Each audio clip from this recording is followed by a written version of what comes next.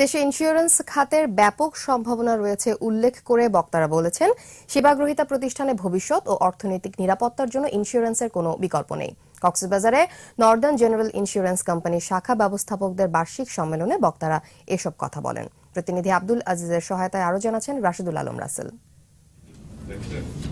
কক্সবাজারে Northern general insurance কোম্পানির শাখা ব্যবস্থাপকদের দুই দিনব্যাপী বার্ষিক সম্মেলনের উদ্বোধনী অনুষ্ঠান ছিল শুক্রবার।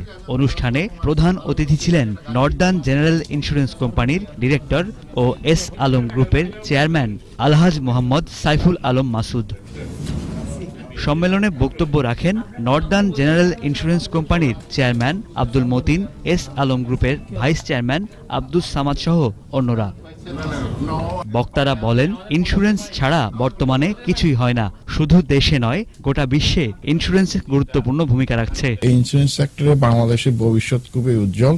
এমন আমরা যদি পুরো ইকোনমিকে যতগুলি প্রোডাক্ট আছে ইন্স্যুরেন্স সেক্টরের ভিতরে নিয়ে আসতে পারি তাহলে একদিকে দেশে যারা ব্যবসা বাণিজ্য করে যারা সব ওরাও কিন্তু সেফটিতে থাকবে প্লাস ইন্স্যুরেন্স কোম্পানিগুলো অনেক হেলদি হবে। ইন্স্যুরেন্স খাত সামাজিক সমৃদ্ধি ও সম্ভাবনার পাশাপাশি দেশে ব্যাপক কর্মসংস্থানেরও সুযোগ সৃষ্টি করেছে। ব্যাংকের চাইতে ইন্স্যুরেন্সের চাকরির ক্ষেত্রগুলোও কিন্তু কম নয়। সাতাত্তরটা ইন্স্যুরেন্স কোম্পানি বাংলাদেশে আছে।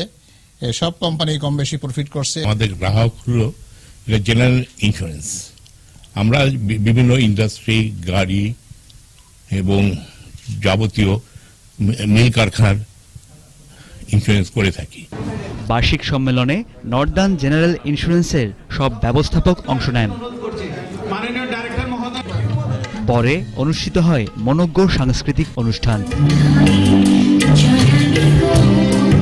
Desk report Ekushey television.